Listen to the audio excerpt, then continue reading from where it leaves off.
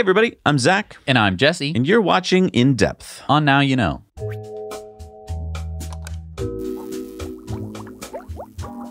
We're brought to you by a betterrouteplanner.com, our favorite EV trip planner with waypoints.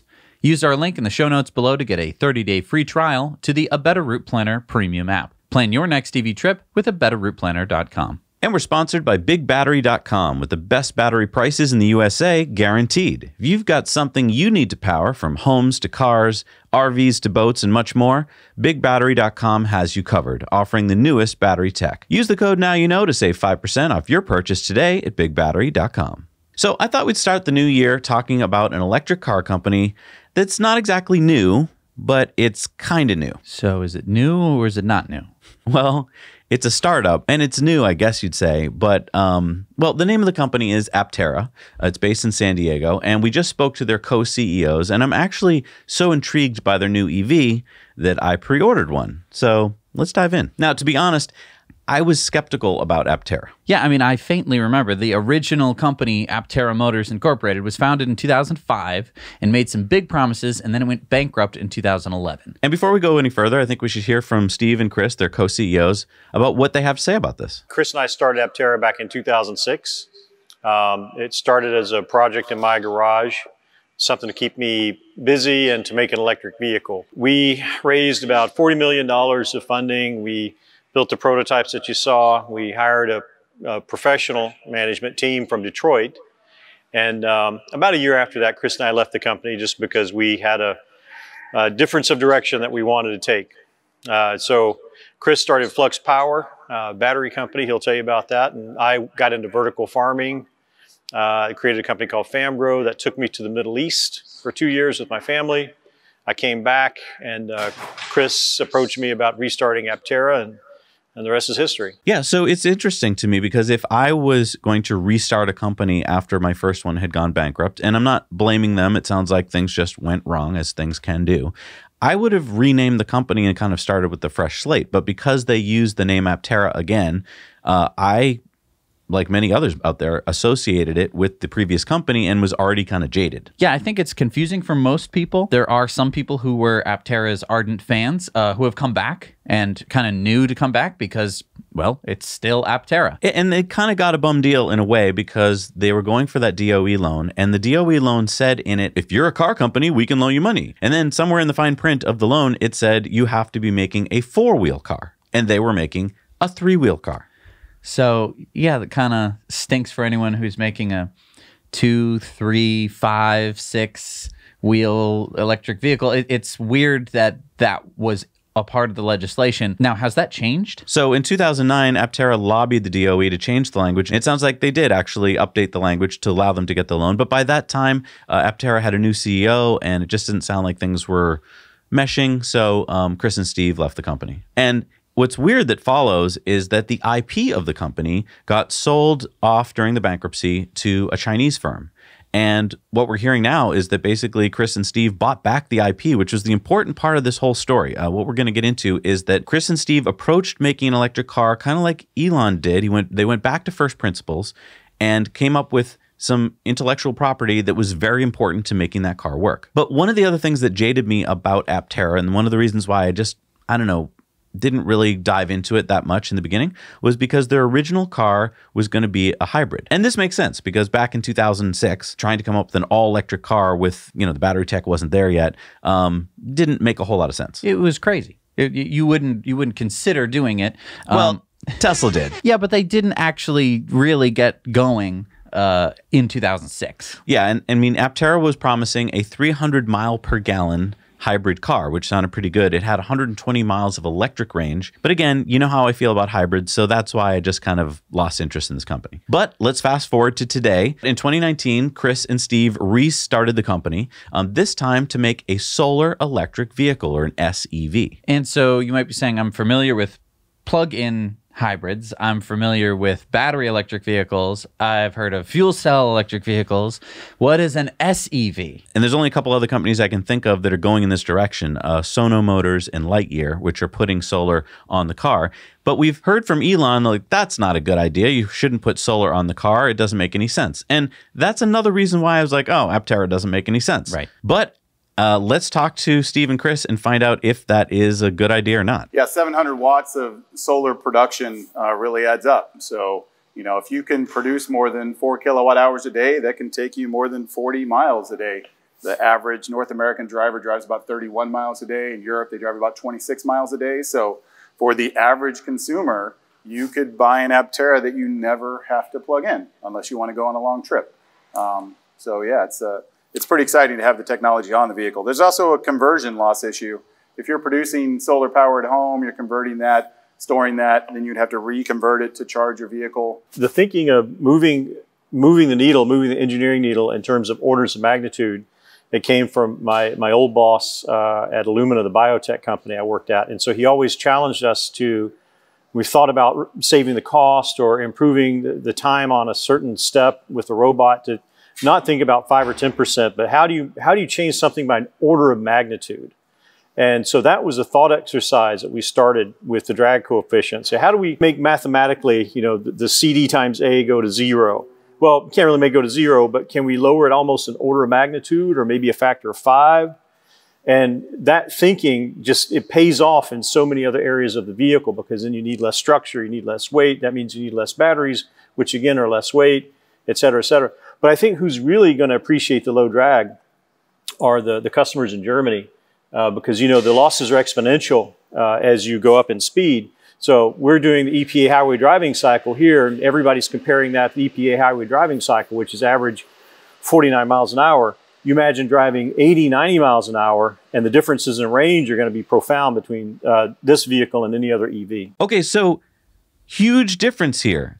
When you have a car with a super efficient powertrain, then putting solar panels on the roof makes sense. Why? So when Elon says it doesn't make sense to put solar on the car, he's not saying that the solar panels wouldn't generate energy and it wouldn't charge the battery. But what he is saying is that it would be such a small amount of energy that it wouldn't contribute very much to the range of the vehicle over any reasonable period of time, right? If you were to cover a Model, uh, you know, S in solar, it would take you, I think, around a month to charge your car, which just isn't very practical and every day you'd only be getting a, you know a few miles of range if you were lucky but if you have a car that uses one quarter of the energy to propel itself forward uh, well suddenly all the solar that you collect has a quadrupling effect on the range Yeah, let's look at some numbers. So, if the Aptera can get an extra 40 miles of range a day from just its solar, that would mean that something like a Tesla Model S would get about 10 to 15 miles. And so, even though 10 to 15 miles isn't bad, uh, 40 miles is amazing. And I mean, as they mentioned, 40 miles is pretty close to an average commute for most people, which means that you might not need to plug in the vehicle to charge. Right. Yeah. And I want to get back to the tech of the vehicle here. Um, the reason why it looks so weird is because the car is basically driving through soup every day. It's not driving through soup, it's driving through air, but air is a fluid. You might be saying, like, well, there's nothing in this room. well, actually, it's full of air. Uh, the air is in the way, and that is why you can't just start driving and go a million miles an hour. It's because the air is what's slowing you down. Yeah. I mean, I've learned so much this year. Uh, Trying to get up Pikes Peak with the Model 3, learning about air resistance and how important it is to this whole equation. And so, as they're pointing out here, so the drag on a car is related to the square of the velocity. So as you go faster and faster, there's more and more air resistance on the car. So what they've been able to do here with this this weird looking vehicle is cut the drag coefficient down to something like, if I'm remembering correctly, 0.13. And that helps a lot in reducing drag, but they also reduce the cross sectional area to the wind, which is another factor in reducing drag. I mean, look at the front tires on this vehicle and look how they wrap them. And this explains why the car looks so weird. And this is why we design airplanes the way we do. Um, you can't have a house fly through the air. Right? It would be so convenient to get onto an airplane, to walk into, you know, your hotel bedroom style thing and and be able to lay down, relax and watch TV in there. You have to be in a tube for it to be in any way feasible or economical uh, to fly you around the world uh, using a plane. And a plane goes high up in the air, not just so we don't have to look at them or anything. It's because the air density reduces and therefore reduces drag and therefore allows you to travel much more efficiently around the world. And this is why SpaceX is developing rockets that'll go up outside of the atmosphere where there's no air. And so, if you want to have a vehicle that's on the ground, there are two ways that you can reduce the drag on the vehicle. One is that you can get rid of the atmosphere around you, which is Hyperloop, or you can make a vehicle that is extraordinarily efficient, like Aptera. And most people buy a vehicle and they don't really have the pockets to dig themselves an evacuated tube through the earth and they don't really have the space or the money to uh, you know build themselves a giant airstrip everywhere they want to go and, and buy a plane that they then have to take off and service. That's a huge pain in the butt. So the better solution would be to have a vehicle that can sit on the ground, but is as aero efficient as possible. In fact, that's where the name Aptera comes from. In Greek, it is wingless flight. Which is funny because we are actually saying Aptera wrong. We should be saying a Terra because uh, pterodactyl. The reason it starts with a P is it's because it's pterodactyl. Oh, right. and helicopter is helioco pater. Interesting. So yeah, it's it's the Greek thing. So, So, we should be saying Atera? Atera, wingless flight. Interesting. But I think we can all call it Aptera. Just a little scholarly thought. to give you some idea of how much energy efficiency they've been able to squeeze out by making this crazy shaped car, let's look at what some comparable electric cars use for energy to go a mile.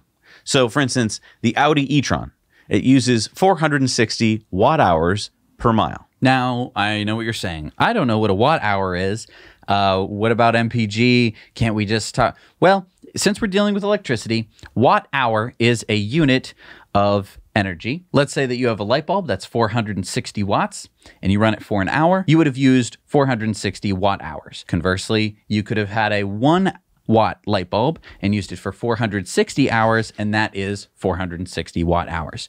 Or you could take a audi e-tron drive it for one mile and it would use 460 watt hours. Now, to give you some perspective on other vehicles, the Tesla Model X uses about 380 watt hours per mile, so it's more efficient. And the Model 3 uses even less. It uses 230 watt hours per mile. All right, so what does the Aptera use? it is going to use an estimated less than 100 watt hours per mile so that is significantly less than half of what a model 3 uses to drive one mile Yeah, which is crazy because the Model 3 is currently the most efficient electric car on the road. And so you might be saying, well, that's great. Efficiency. I love efficiency. That means uh, good things. It actually means more than just that. It means four specific important things. The first one, and- and the thing that I think gets overlooked the most, is that it is going to charge faster. Wait a minute. How is that possible? Right, you go to a supercharger, say in your Tesla Model 3, and you plug in and you get 150 kilowatts, and you go, boy, howdy, this is fast. But let's say for a moment that you have uh, three cinder blocks hanging out at the back of your car with chains on the ground. And so when you drive around, it's going, and uh, you're not being very efficient. So when you come back to the supercharger, the miles of range that you're putting in the car for a unit of time is going to be significantly impacted. Okay, but I hear a lot of people saying, and my brain is even saying, if you put 150 kilowatts into a car, it doesn't matter what car it is or what you're doing with it. That's how fast you're charging. Well, let's bring it back to something we've all grown up with, right? You put gas in a tank, right? So let's say we get a big, giant uh, Hummer and it gets five miles per gallon. You're sitting there at the pump and it takes a minute to put a gallon in the tank. Ding, ding, ding. They don't ding anymore, but you- you're putting a gallon in the tank. You can only go five miles Okay. with that one gallon.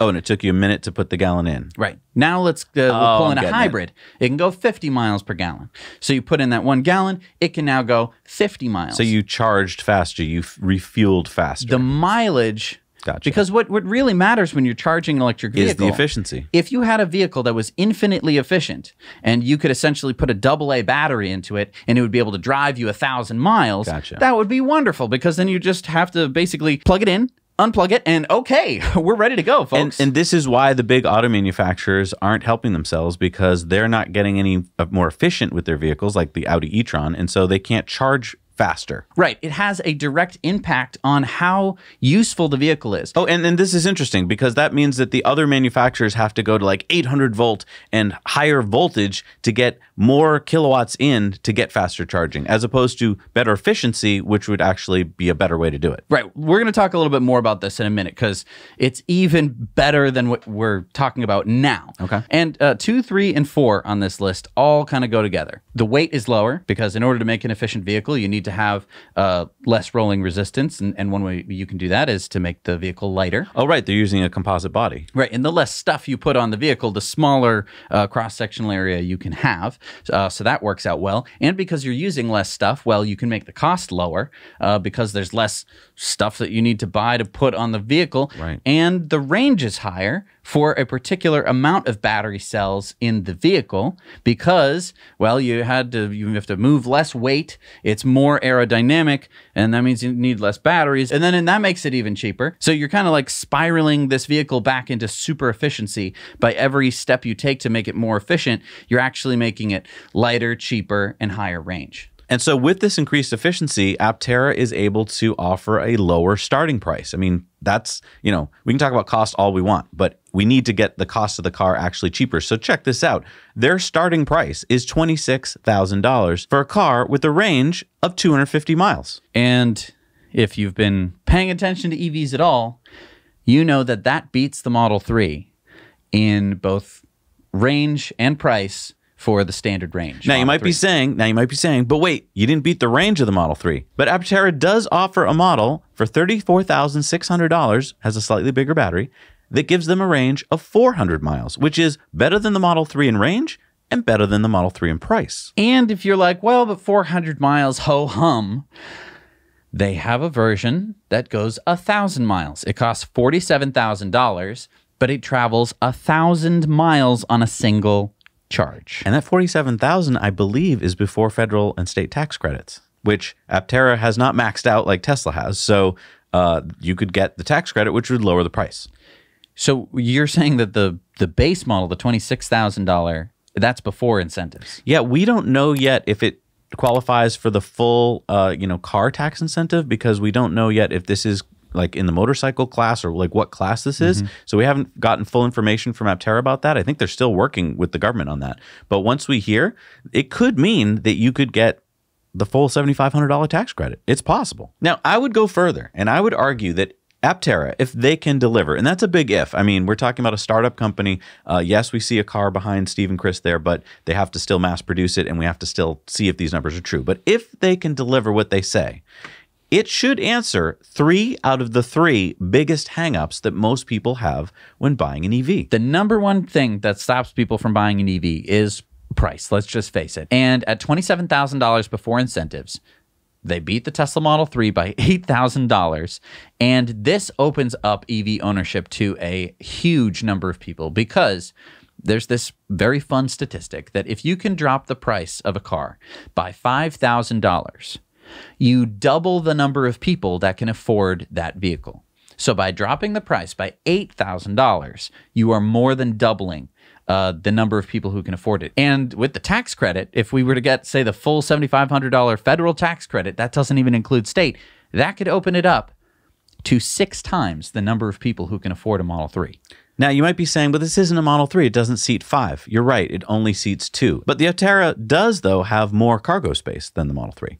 Interesting. Interesting. Um, but so, yeah, if you were looking for a car that would seat your whole family, this probably is not the car for you. But if you're looking a car to mainly get you around town, you know, and get to work, this could be your car. So the second number one problem that people have with EVs is range anxiety, right? I mean, that's one of the biggest problems EVs have is that they don't quite match what gas cars have today. The average gas car has a range of over 400 miles, and no one's been able to do that yet. But Aptera has an affordable 400 mile range vehicle, and you can even get one with a thousand miles of range, which pretty much shuts up any argument about, well, it would have to have a range of some number of miles. No, ga- there's hardly any gas cars that have a range of a thousand miles. Right. The most I've heard of is about 700. And that's with a hybrid, and, you know, that's pretty intense. And the third biggest hangup that most people have with EVs is where am I going to plug it in? it's the most efficient. Uh, if you if you look at your energy consumption, you know there's uh, what 32 kilowatt hours in a gallon of gasoline, something like that. Uh, so you figure average car burns a couple of gallons of gas a day, that energy equivalent.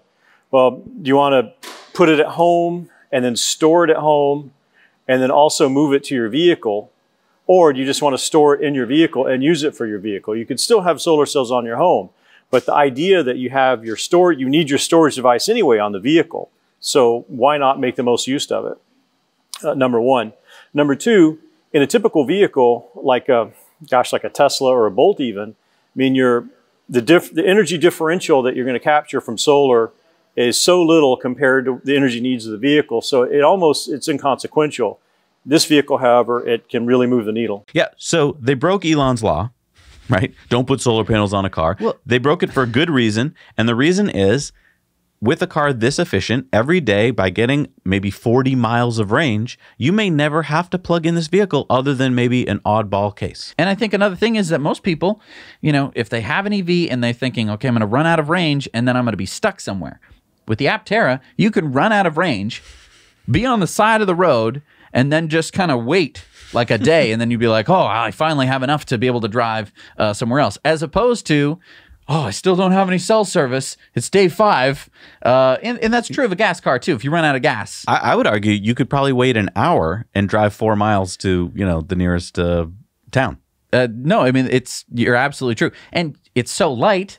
You can just get out and kind of kick it. It's so efficient. Yeah, it, that's insane. And I want to just go back to stressing about uh, charging infrastructure because we talk about that a lot on the channel. Um, in order to get all of these cars with you know 100 kilowatt hour batteries to charge, we need supercharger level uh, installations, and that's a lot of infrastructure. But the Aptera, you can actually just plug it into a regular 120 volt outlet. And let's just do some math here to see what you could actually get by doing that. And let's just be clear: you can do this with the Model Three as well. You can do it with the Model X, right? I have a Model Three. I primarily charge it with a 110 outlet uh, that's on the side of my apartment. So totally works for me. But I do have to charge it up overnight, and I only get around 60 to 70 miles.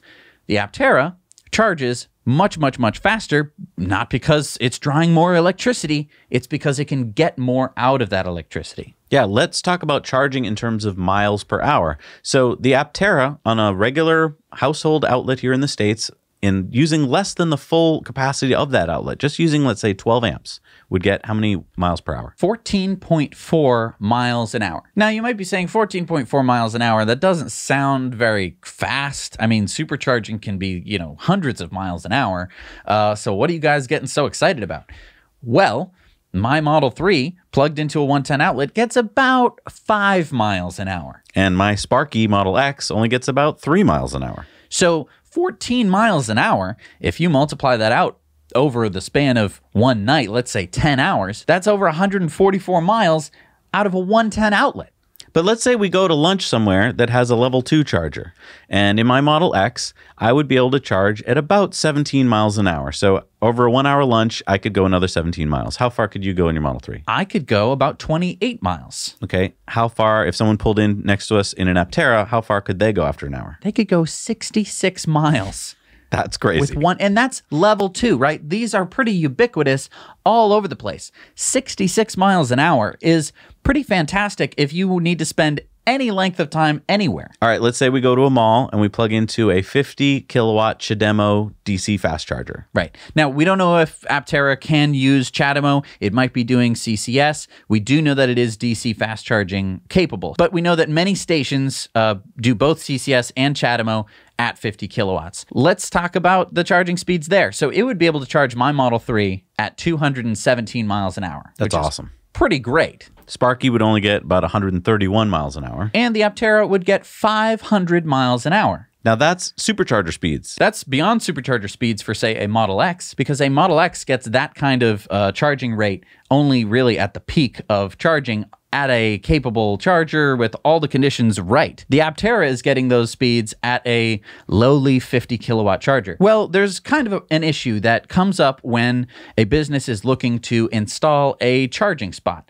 Uh, you might be saying, well, that's wonderful that a business might be thinking of doing that. Why aren't there more businesses that have level two chargers around? And that's because it takes quite a bit of electricity to charge up a Parking car. lot full of cars. Exactly. If you want to put in you know, let's say one or two charging spots. You're talking about a big circuit that you need to talk to the landowner about and say, hey, we might need to put in more electricity. It can cost thousands and thousands of dollars, not for the charger, but just for the line in from the grid to power that charger and to and to charge that vehicle. And then there's the whole question that the landowner is going to have about, well, who's going to pay for the electricity? Right. Compare that to the Aptera, which could charge off of a regular 110 plug. It wouldn't be pulling that much energy. Or charging off the sun. I mean, let's not forget. Let's look at their solar options here. So, for instance, uh, if you put solar on the roof of it, you get 16 miles a day. On the hood, six miles a day. And on the hatch, 18 miles a day for the total of 40 miles a day. So you could have a business with hundreds of employees parked in the parking lot, and on a sunny day, they're all charging for free with no infrastructure because the sun is your nuclear fusion reactor. And that, I think, is one of the most amazing parts of Aptera and something that the press really isn't going to pick up because no one in the press has ever driven an electric car, let's face it. And if they have, they've maybe been to a supercharger, but they don't fully understand all of the nitty gritty ins and outs of it. Um, we do, and, and probably you do as well, especially if you've driven an EV for any length of time. Now, let's talk about the elephant in the room the looks, Yeah. the design. For many people, the majority of people, I would argue, uh, I'm going to assume that the design is going to be a no go. Now, I know that when I first saw the Aptera, I didn't mind the futuristic look, but I thought, oh, to get that range, it'll have to be slow. And here is again where the design of the Aptera, ignoring the way it looks, has a huge benefit. This is not a slow vehicle. As Chris explained, the Aptera can go faster. Yeah, it's uh, it's electromechanically limited at 100 miles an hour, uh, 110 you can creep up to.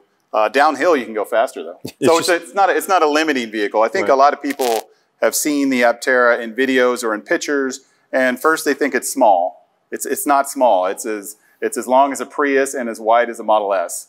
Uh, then they think, oh, well, it must be limited in speed or something. Maybe it's like a 45 mile an hour vehicle. No, it's zero to 60 and pin your head back, and it's 100 miles an hour on the freeway. So, you know, I, I, I hope that we can get across to people as they learn more and more about us that uh, this is not a compromised vehicle just because you're able to get free power from the sun and you're able to get a thousand miles range.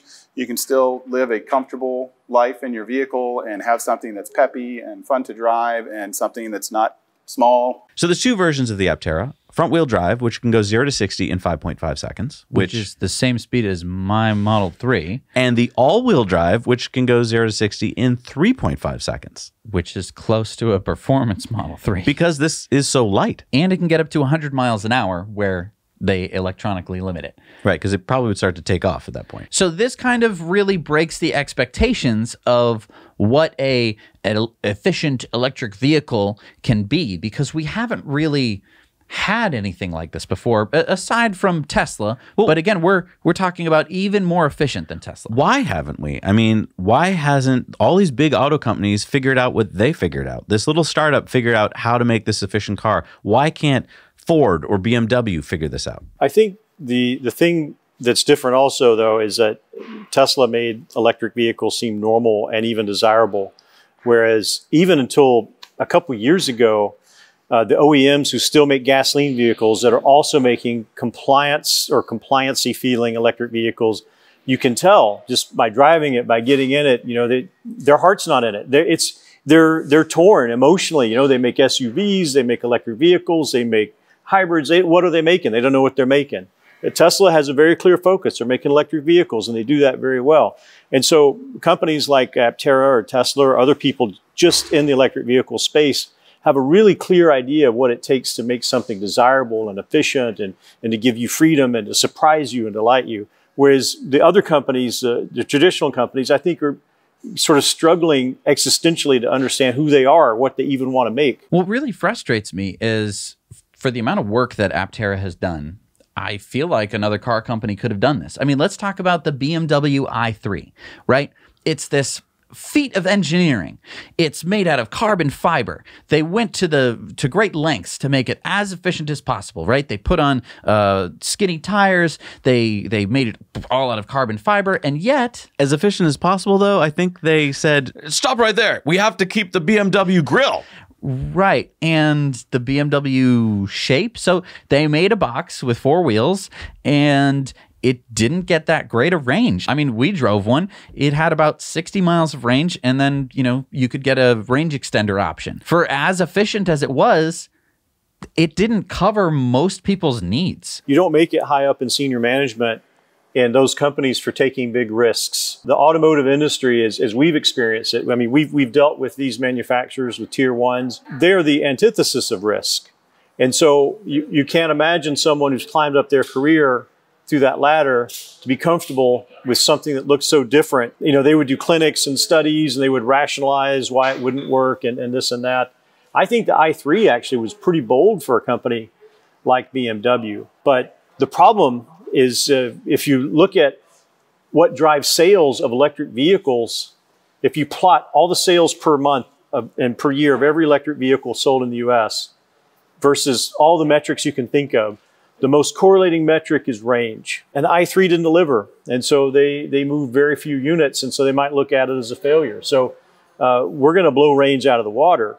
But I think, I think the traditional companies, just what you said, they, they have a, uh, an ethos, a way of thinking that uh, it's just aligned with different factors. It's not aligned with efficiency. I think the reason that they have this inertia in the automotive companies today is because of years of cheap gasoline. Um, you know, I'm, I'm an electrical engineer by training, and I've often counseled younger engineers, you know, the, the hardest thing and the best thing to do also, paradoxically, is to find a way to remove a component, remove a line of code, uh, remove a sensor.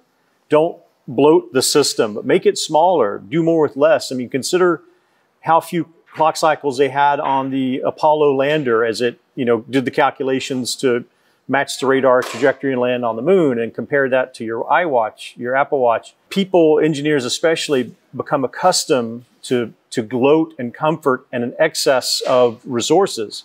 And so when you have this new constraint, in this case, electricity, specifically from batteries, because batteries are, are such a, a scarce resource because they're so pricey, it forces you to think different.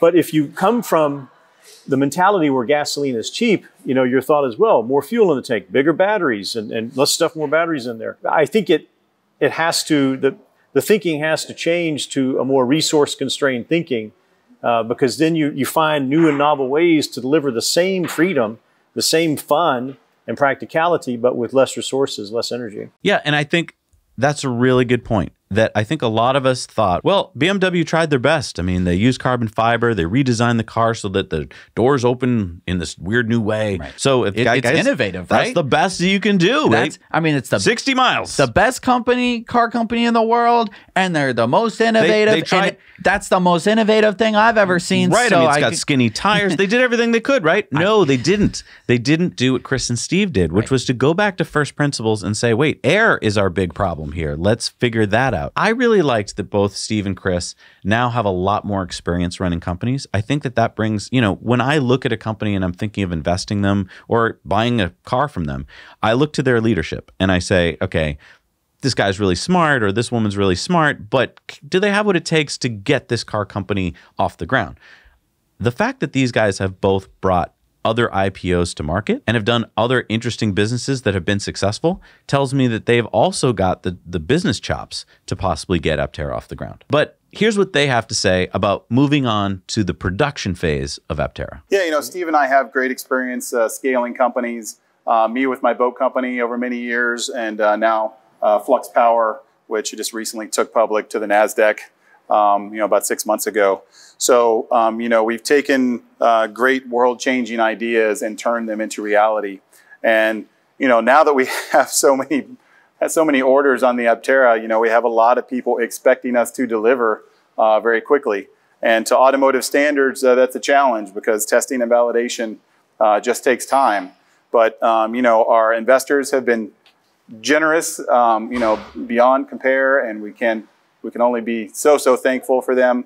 Uh, and we're opening up a new investment round uh, here in February to also allow you know any any person out there really to invest in uh, Aptera and follow on our journey.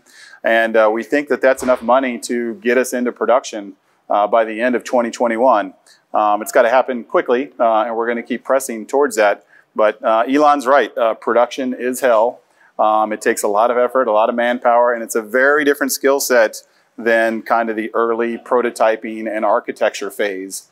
Um, you know, it takes a totally different skill set. So we've been lucky enough to engage companies like uh, Munro and Associates, and they are helping us uh, with you know uh, validating all of our parts for production, and then also helping us build assembly lines that can scale very easily. So I think we've got a great team um, coalescing around us, and uh, you know, very soon we can start executing on that path. There's there's a, a globe not only a global supply chain, but a, a global resource bank for us now that didn't exist 10 years ago, and Munro is helping us navigate that. So, you know, when we go to sleep here at night, there's people in different parts of the world working on different components of this vehicle. Work never really stops.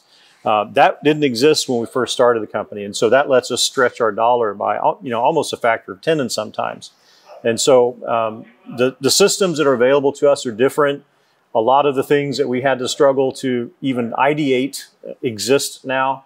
Uh, and we have this sort of global resource reach that Munro is helping us with that we didn't have access to before. So those are the, the things that are really helping us uh, put this into production. All right. So what do Chris and Steve have to say to the naysayers? Yeah, it's, um, you know, the Aptera won't be for everyone.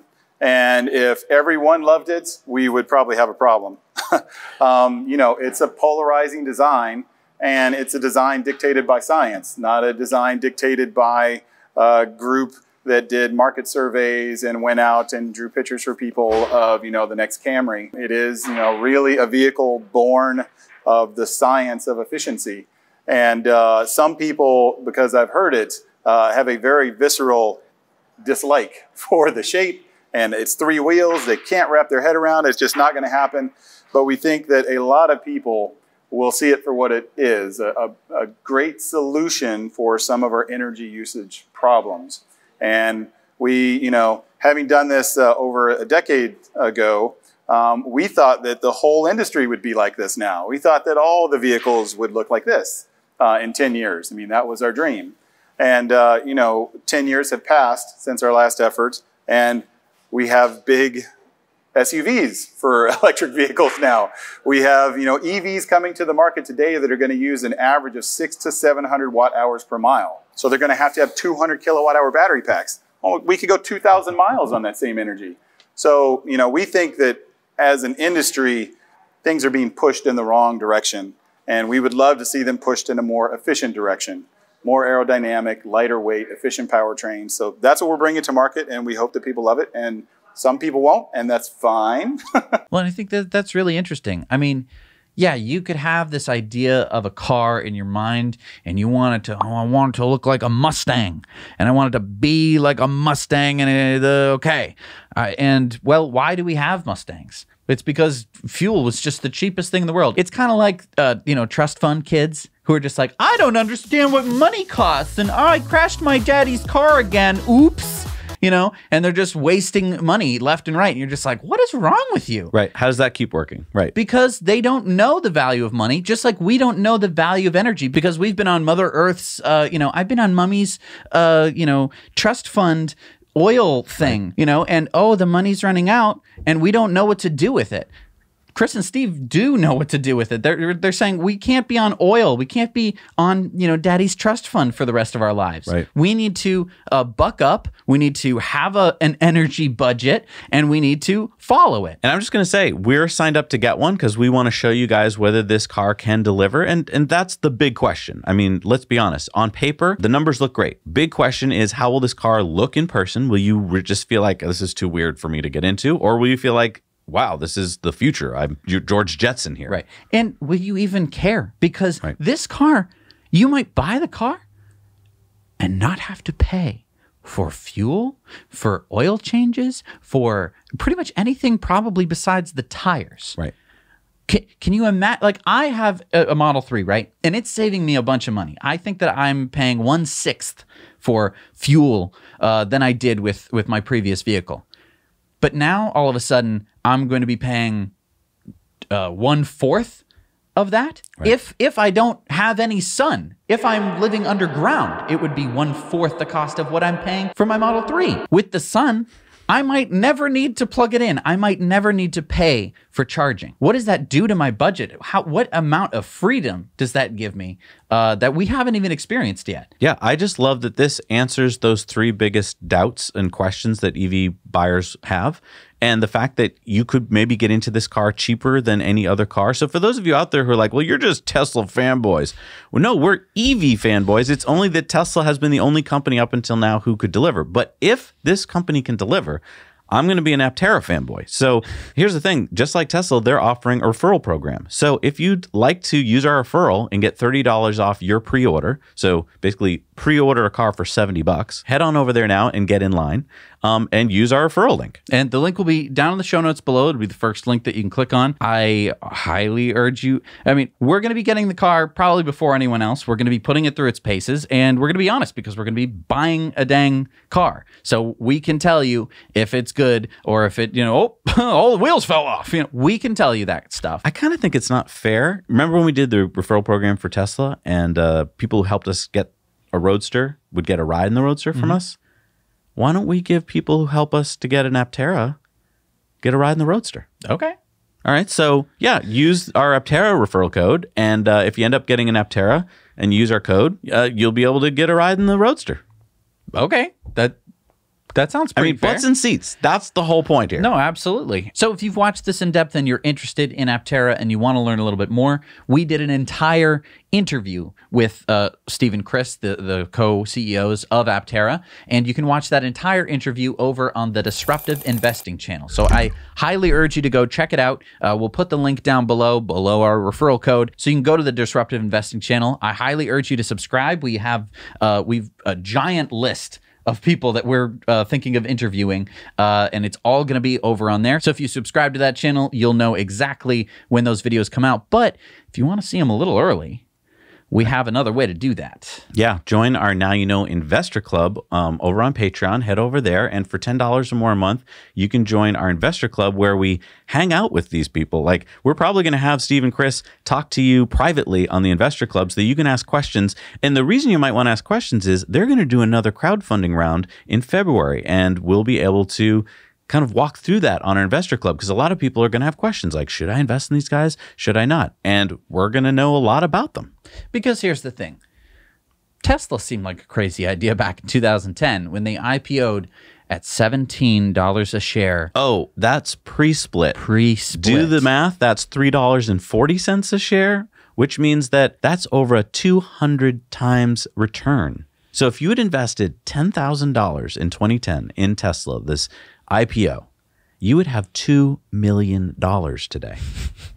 Now, I'm not saying that Aptera is going to have the same, uh, you know, meteoric growth as Tesla, but it is an EV company, uh, which I think, With some first principle CEOs with experience. which uh, kind of gives Tesla a run for its money. I mean, of course, it doesn't have a giant frunk uh, like most of the Teslas do, but I would argue that the whole reason for the frunk being there was to give you a vehicle that looked like your gas car, Right. so that it wasn't too much of a stretch for you to be like, I'm going electric and I'm going to be driving a spaceship that looks like an Aptera. Yeah, I want to go to the looks for a second here again because that is probably the number one factor that'll keep people from even considering this car. And some people might go, well, why don't they just make it look better?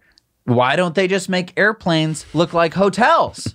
It's because it doesn't work. The design will have to look something like this if you want to make an efficient, a super efficient vehicle. Right. They've been able to do something that I don't think a lot of other companies have been able to do. They've been able to make a pretty good looking design for dealing with the physics engine that we live in in this uh, simulation. I am super excited to get into an Aptera and actually experience how it drives, how it handles, does it do what a car should do? And I think that that's what we're hopefully going to bring to you is does it function the way you need a car to function? Cuz let's be honest, I mean if a car does what you need it to do, who cares what it looks like? And to go one step further, things that look crazy today don't always look crazy tomorrow. How many people talked about the way that Tesla looks when they did the, their refresh, right? And we're like, no grill, that's crazy. And now we don't even give it a second thought. Right. Uh, and look at the horseless carriage. They they went out of their way to call it the horseless carriage because it was a carriage without any horses. What? I think that we could be looking back at the Aptera in the same way that we were looking at horseless carriages. Or I mean, look at a flip phone today. You see that and you're like, I thought that was cool. and I'm sure we'll be looking at whatever we have in our pockets today and be going, that's what you thought was cool? A rectangle? you thought a rectangle was neat? This thing fits into my brain. yeah, design is changing fast. And so the Aptera may look futuristic now, but it might look just normal in the future. And I hope it does because this could be a huge, huge factor in reducing the effects of climate change. Yeah, I mean, just imagine if it did take off. If a lot of people loved the look, they could produce them cheaply, then charging infrastructure wouldn't be that big a deal because nope. the sun would take care of it. Mm-hmm. I mean, that's the most efficient way to, to do anything. Exactly. So uh, that's why we're so excited about this company. If they can pull it off, I'm not saying it's easy, uh, it would be an amazing feat. We hope you enjoyed this episode of In Depth. If you liked it, please hit the like button and share it with your friends. I mean, I'm sure you have at least one friend who would be kind of interested in a kooky looking car like this, um, or an investment like this. Uh, exactly. Um, and subscribe if you haven't subscribed yet. Subscribe. We come out with content like this all the time, and we would hate for you to miss it. Thank you so much for joining us, everyone. We'll see you next week. Now, now you know. know.